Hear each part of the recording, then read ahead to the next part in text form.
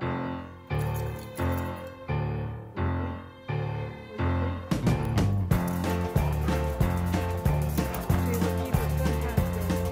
was born one morning on the San Juan summer back in 1881.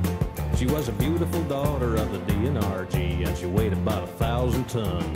Well, it's a 45 mile through the Animas Canyon, so they set her on the narrow gauge lot of water and she ate a lot of coal and they called her the Silverton. Silverton train, here comes the Silverton up from Durango. Here comes the Silverton to shuffle them coal.